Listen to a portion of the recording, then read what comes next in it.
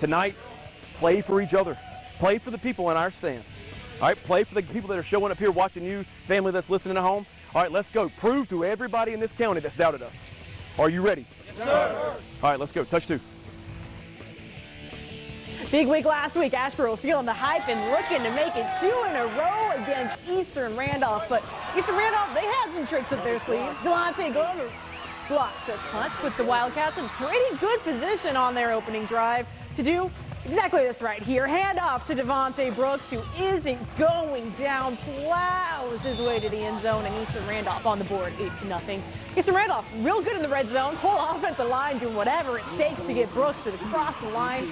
And there he is. He does it. Wildcats up 14 to nothing, but Eastern Randolph, they can do it from distance too. Think up Michael Stratton throws the dart, finishes off on the other side with another Wildcat touchdown. Eastern Randolph coming up big on the road tonight with a 49 7 win.